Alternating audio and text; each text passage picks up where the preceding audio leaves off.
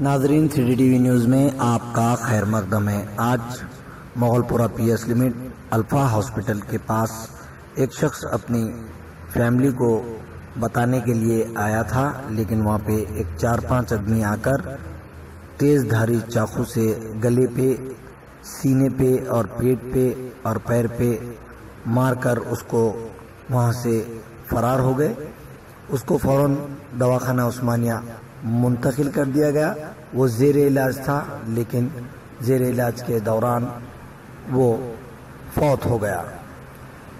Media से बातचीत करते हुए DCP B Satyanarayana south zone IPS ने सारे मामले की तफासिल बयान की। यहाँ ट्रीटमेंट के लिए अपने वाइफ का साथ आया था।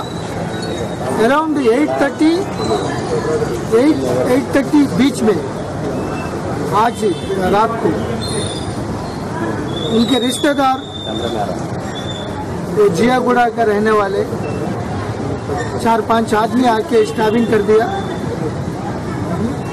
तो पाँच छः स्टाबिंग होने के बाद इमिडिएटली यहाँ थोड़ा बैंडेज करके उस्मानी हॉस्पिटल भेज दिया। वहाँ मौत हो गया मर्डर हो गया। ये प्राइमा पेशी इंक्वायरी करने में ये मालूम हुआ था ये फैमिली डिस्प्यूट है।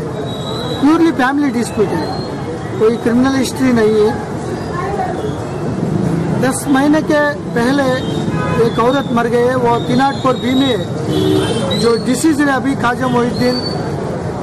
उनका मदर को गिरफ़्तार कर दिया। वो शादी होने के बाद वो हस्बैंड वो कतर भाग गए।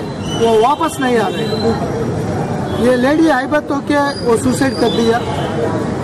ये जो रिश्तेदार है, उनका रेस्पॉन्सिबल है, उनको गिरफ़्तार कर दिया। ये मामला में उनका ब्रदर्स फादर थोड़ा इनिमिटी डेवलप करके ग्रज डेवलप करके आज ये आदमी को देखकर उनको मर्डर कर दिया। कानूनी के अंदर ये मर्डर केस रजिस्टर करके जो आदमी रेस्पॉन्सिबल है, उनको सबको अरेस्ट करेंगे।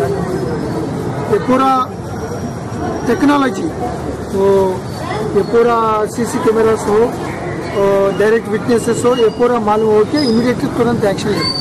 सर ये